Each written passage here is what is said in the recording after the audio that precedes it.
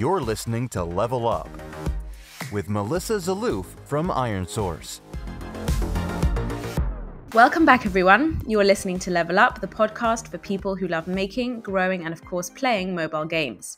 I'm your host, Melissa Zeloof, and this is the fourth episode of our series for indie developers called What I Wish I Knew When. Joining me on today's podcast is Bozo Jankovic. Yes, I think I got it right. Did I get it right?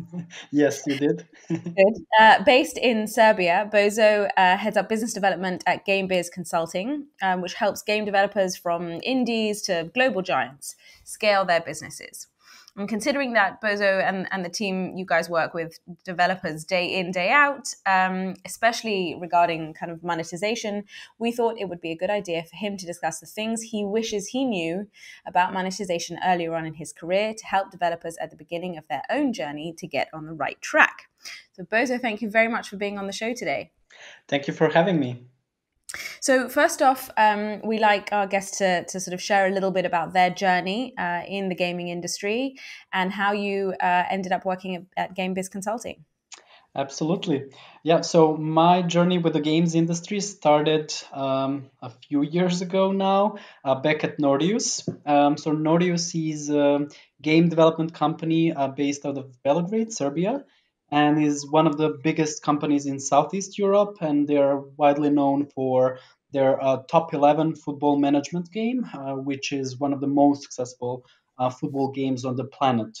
Uh, there, I was working in a game uh, in business development team, um, and um, yeah, a few years afterwards, I decided to um, kind of move into this consultancy role where I would be helping uh, different game developers um, and my focus uh, at the moment is at ad monetization. So, helping game developers monetize their games through ads and maximize their potential there. Mm-hmm. And, and what kind of games do you guys work with at GameBiz? So uh, we really work with different types of games from different genres. So we're definitely focused on uh, mobile free-to-play games, but uh, within that uh, we really uh, work with uh, you know all sorts of genres from from uh, me personally i was working on action games uh, puzzle games um, match free uh, board um, uh, narrative driven games um, sports so all kinds of games that that you know have interest in monetizing with ads whether it's you know making majority of their money through ad monetization or just a smaller uh, piece which comes uh, kind of on top of their in-app purchase revenues. Mm-hmm. mm-hmm. And my assumption is, you know, most of the people listening to this episode either have a game or are building a game uh, that they're hoping to to, to monetize. Mm-hmm. Um, and uh, and and then you sort of mentioned two here. You have IAP um, and you have ads, um, but there are, you know, you could also tackle subscriptions if if you felt that that was a um, an option that worked with your game. Um, and even within each of those categories, there's there's a lot of different ways to tackle uh, implementation um, and getting it right so that you're maximizing both revenue and user experience. Mm-hmm. So let's let's potentially start with uh, the basics. Um, can you give us a brief overview of the different ways you can monetize uh, a mobile game, um, but maybe not sort of like you could use ads or IAPs because I think most people know that. Um, but kind of let's let's look at IAPs. Um, what are the different kinds of in-app purchases you can leverage, um, and uh, and then we can move on to ads. Absolutely. So yeah, within the the in-app purchases as micro transactions, uh, developers have become very, um, I would say, you know um, uh, they, they have very different ways of monetizing their user users. Uh, it, it it you know it all started with very simple transactions like buying some uh, hard currencies uh, or buying soft currencies through the hard currency um, but like as the time uh, passed uh, developers became more sophisticated in how they can monetize users um, through in-app purchases so they started uh, giving some boosts to users who are who are using them. They they started um, making you know a progression through the game uh, much faster by speeding up uh, build, building uh, time or you know uh, opening up chests or uh, buying some um, diff- different sorts of um, decorative elements such as skins. Um, although like for, for games that are monetizing through through buying skins, I would say that you know they they rather have um, low conversion rates and they're relying on their huge uh, daily active user base. Um, this is a typical um, typical for, for this type of games. Um, and then like there are various ways in which developers are trying to um, increase their conversion rates and the percentage of users that are buying uh, stuff because traditionally, um, you know, developers are making money for a very small percentage of users who are who are actually buying something in the game.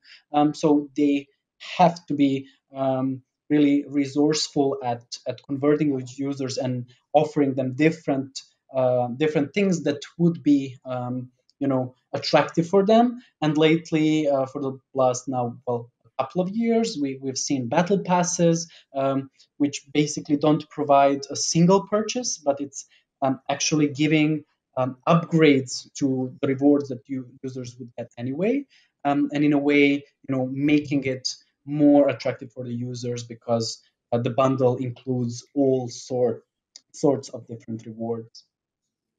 Wonderful. That's that's I think in depth enough, but um, I feel like there's more you could say there. Um, maybe for another episode.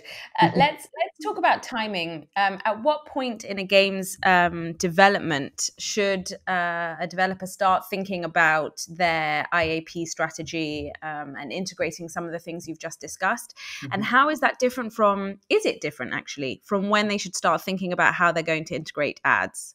Mm-hmm. Yeah, so I, I, I get that question uh, quite a lot, and I'd like to say that you should start as soon as possible. And this means that, like, from my perspective, there are two main things that developers should be thinking about.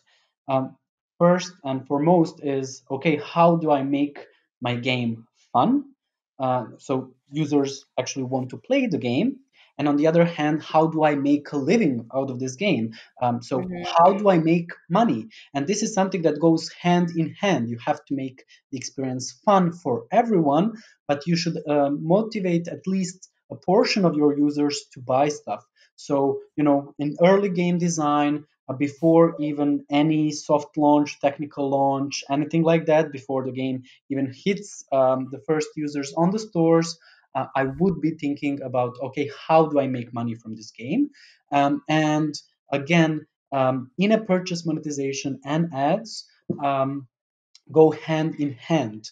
Uh, there's no reason why you should be, you know, waiting uh, for more time to pass until you start thinking about ads. And the earlier you start, I think that both in-app purchases and ads will be better integrated inside the, the, the core experience of the game and, and you have a better chance of uh, you know um, making the game that uh, that's doing a really good job with monetization mm-hmm.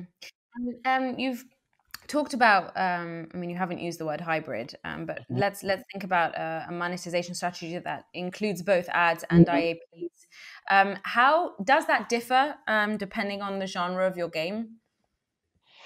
Uh, well, I would say that hybrid mediation um, is almost a, a default uh, nowadays um, within the, the free to play games. Um, before, I would say that uh, developers were gravi- gravitating more towards in app purchases, and then ads were um, probably more suitable for very casual games um, but nowadays, I would say that uh, any free to play game uh, can benefit from implementing ads. And then to the point you were making, depending on the genre, depending on your uh, target audience, um, you can actually make the difference there. And you know, if you have a hardcore game uh, with really core users, um, then you don't want to overwhelm them with ads. And in your hybrid setup, ads will probably take, I don't know, maybe 5% of revenue, of total revenue, or maybe up to 10. And then if you if you have more mid-core experienced uh, game, uh, then you would be gravitating anywhere between maybe 10 and 20 percent, and you would, um, you know, have the liberty to include ads more um, aggressively or uh, to make them more visible within your game. And then if you have um, uh, the, the really casual games, uh, you would be aiming for more than 20% of your revenue coming from um, from ads. And there are many games that make you know 40, 50, 60, 70% of their revenue through ads. And then of course there's that extreme of um, of um, you know strictly ads driven games um, uh, like hyper casual games which make maybe just a couple of percent revenue from purchases mm-hmm. uh, do you um, do you find that developers that you are um, working with are on the fence about ads um, are they sort of are ads still a necessary evil, or is it something that developers are more and more sort of uh, considering as a default choice? Yeah, so I I, I, I was following one um, uh, research that that that uh, comes uh, around uh, every year, and one of the questions uh, that developers are asked to is, you know, how do they see ads and precisely the expression you were using, necessary evil, is something that was really, really common like a few years ago. But um, like I, I, think that in the past couple of years, percentage of developers who were answering that question with a necessary evil is actually getting smaller and smaller. Uh, so I think that developers are becoming more aware that ads can actually uh, be implemented inside the game uh, without uh, disrupting user experience. However, there are still many developers um, who shy away from ads, mm-hmm. especially mm-hmm. especially for some type of games and especially for some type of ads. Uh, for example, there are many developers who believe that interstitial ads are absolutely and always um, you know bad user experience that it will lead to churn or uh, you know redu- reduced retention that it will drive their users away which is actually not true based on dozens of games that i worked on um, so basically if you implement the ads in, in the right way um, you're actually gonna only gain um, uh, something for your business and and not uh, not the opposite. Um, so you brought up a really interesting point just now um, around this tension between ad implementation um, and user experience um, and how there are certain ads which you know are going to obviously they won't right but in in a bad implementation could cause churn or drive mm-hmm. users away um, and ads which might in fact do the opposite um, what are some of the ways and and, and the ads uh, or units that you can use to ensure you're building a positive user experience but also um, you know making money from your game and, and keeping the lights on mm-hmm. absolutely yeah so I would say that for developers who are super concerned about user experience and you know they, they feel unsure of what ads are going to do to their game, I think that you know um, to stay in the safe zone, you want to start with reward video ads. Be- the reason why is because uh, you're not pushing uh, pushing these ads to your users, but you're actually um, giving the control uh, to them. If they want to watch an ad, they can if they don't want to watch an ad you know they can just ignore they can skip. Uh, there, there's no uh, you know there's no evidence whatsoever that reward video ads um, you know uh, decrease user engagement or um, retention. And all the tests that um, my previous employer and in general my clients have conducted always prove that um, that retention stays stable, if not higher, uh, with with reward video ads. And then once you gain the trust and you start believing in this um, um, as a way to monetize your games, then you can start experimenting with other ad formats. Um, I think that for interstitial ads in particular, probably the most important thing is timing. So you don't want to show an ad in the middle of user you know playing a level if it's a match free game or you know um, if it's a race you don't want to show an ad in the middle of the race uh, you want to um, take those natural breaks inside the game and monetize them with these ads. So after the level after the battle after something or before this is i think a good way to use an interstitial ads. And um, i would say for the offer wall which is also commonly used. Uh, again, there's no real, um, I would say, um, uh, the, the, you know, um, there's no danger in driving away the users because of the uh, intrusion, because you know usually they're placed inside the shop. Uh, it's just that you should be careful about your economy rather than um, retention and user experience. Mm-hmm. And and let's let's talk about segmentation for a 2nd mm-hmm. um, because I think that's obviously a key point in making sure that you're building. Um, there's you know it's not one ad unit strategy fits all. Um, is it as straightforward um, as splitting up your users into paying uh, and non-paying, and you show ads to non-paying users and no ads to paying users, uh, or is it more nuanced and complex than that? So I would say that it's definitely more complex um, and it depends on many different things. But um, let's take the, the, the, what what let's start with what you what you already mentioned: pay, paying users versus non-paying users. Um, I often um, you know um, stumble upon this model where uh, developers say, "Okay, I want to show ads to my non-paying users." And I'm not going to show ads to my paying users. And this makes sense for the interstitial ads. Uh, the reason why is because for users that are paying within a purchases with microtransactions inside your game, you want basically to provide almost like a premium game experience, and so you won't be bombarding them with interstitial ads, uh, which they uh, which show up um, basically on their own without users' control. And so paying versus non-paying is fine for for for this type of uh, ads. However, for reward video ads or for the offer wall, um, I usually um, advise my clients uh, uh, uh, clients uh, against this strategy um, because it can easily backfire. Uh, one uh, one thing that can go wrong is that you're not showing ads, reward video ads to, to your users, paying users, and so they actually feel in a disadvantage because you know I'm paying inside the game and I cannot get free stuff so you're actually punishing your users uh, because they're paying, uh, which doesn't make sense from their perspective.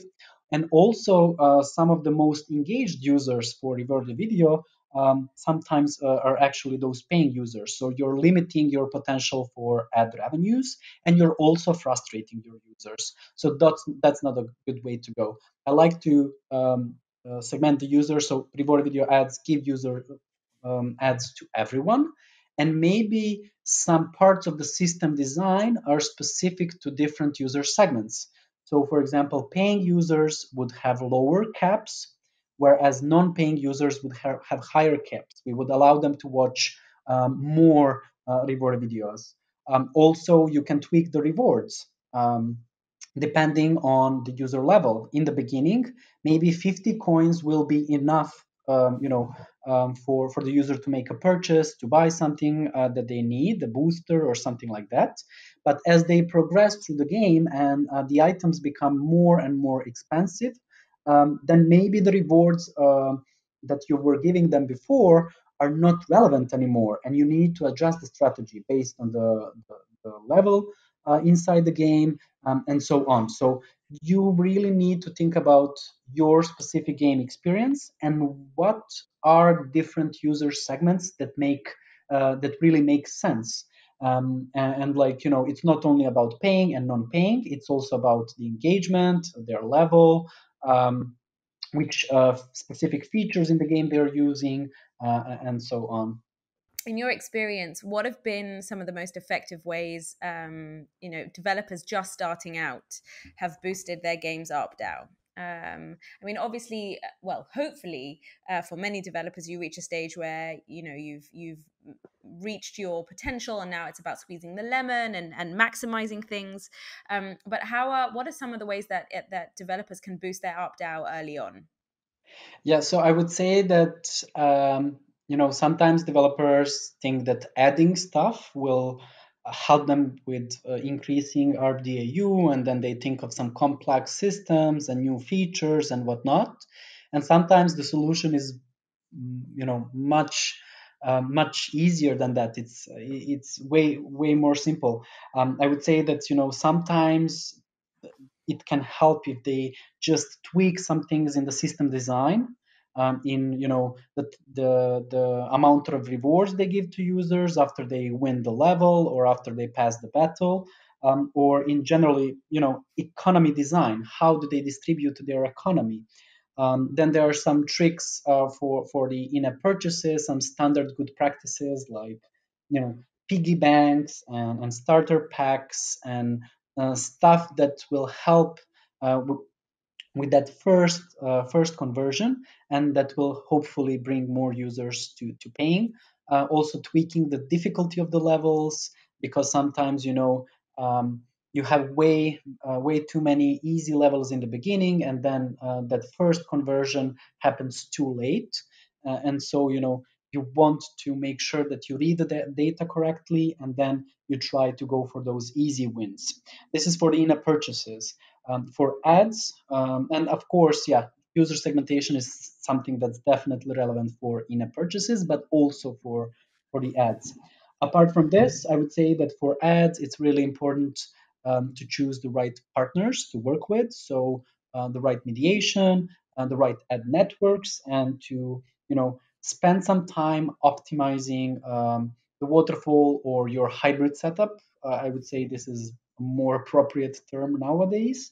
Um, and also with the ads, uh, sometimes is um, as easy as adding a new placement or a new um, format. If you're using only for video, uh, try testing some new uh, format. If you have only a couple of placements, try to find points in your game um, that are highly visible to the user and then introduce a new placement there or increase the caps. Sometimes it can be as easy as changing one parameter in, in the dashboard um, that can actually, you know, increase your revenue by 30%, 50%, 100%.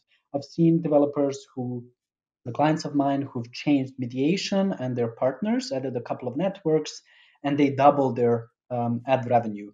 Um, so, you know, sometimes it's not about um, complexity and adding more features and spending tons of money and resources into developing stuff, but it's more about thinking, okay, what are the easy wins that I can uh, I can achieve now.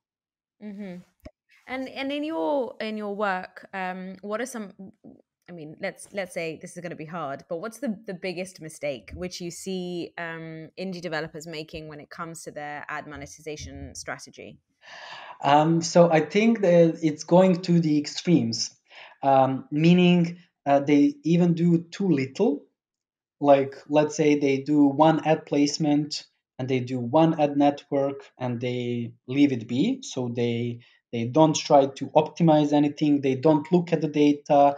They like basically they do one thing and they forget about it, and then they say ads are not working for me and then uh, the other yeah and then the other extreme would be they do too much. So they're like okay i'm gonna do reward video i'm gonna do interstitials banners offer walls uh, native ads i'm gonna do audio ads i'm gonna do um, rewarded surveys uh, i'm gonna uh, integrate 20 networks although i have 1000 uh, daily active users. Uh, i'm gonna you know squeeze the lemon for the ecpms and like they they lose the focus from the important stuff because they they spread their attention too wide. Uh, so I'd say that going to extremes is probably uh, the biggest mistake indie developers make in the beginning. Mm-hmm. And and maybe sort of tackling the question from another perspective uh, as our last question, and what we always ask our guests on on this series: What are the uh, main things you wish you had known about um, uh, in the context of game monetization? Although, if mm-hmm. you have general advice, that's also fine. Mm-hmm. Uh, when you get when you got started in the industry, that you think can help game developers today. Mm-hmm. Yeah, so I would like I think that there are so many low hanging fruits uh, the developers um, should make sure that you know they've taken advantage of them. Do you have like uh, uh, you know um, the, the piggy bank implemented, starter pack? Do you have a daily login reward? Those um, very common um, you know practices, which are really best practices in the industry that don't take a lot of time to develop and they actually provide really good results. So, are you doing all of the low hanging fruits that everyone in the industry almost knows about by now. Um, the second thing I, I would say, um, I would, I think it's really important to get the benchmarks really early on, talk to people, uh, know what are the numbers you should be aiming at, uh, and then you know set the, set those targets. And because sometimes developers make a mistake, they say, okay, but my ARPDAU is already this high. whereas you know they're not using nearly a third of the, the potential that they that they have. Um, and then probably the third thing, the power of of data and, you know uh, if you read the data correctly, you'll, you'll be doing user segmentation the right way, um, uh, and you know other things that can be easy wins for for uh, for the developers. Uh, that was really helpful. Um, lots and lots of detail in this episode uh, for our listeners. Very, very actionable tips. So, thank you very much uh, for being on the show uh, with us today. Um, and thank you, everyone else, as always, for listening. Thank you.